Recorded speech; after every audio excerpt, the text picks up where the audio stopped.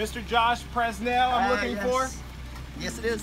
This is Josh Presnell. Congratulations, you're the Thank winner you of so our much. 2017 Hero Raffle. Uh, Congratulations. Thank you. Uh, dude, I, I'm overwhelmed. I can't believe this. I was just telling Freddie, uh, Mustang's my absolute favorite car, and when I found out that was the prize for this raffle, I mean, it was a no-brainer. It was an awesome choice. I've trained martial arts for 21 years, so I've trained with countless servicemen, police, first responders, uh, far too many to name personally, but also my cousin has been in the Army for almost 20 years now, and both my grandparents were World War II veterans.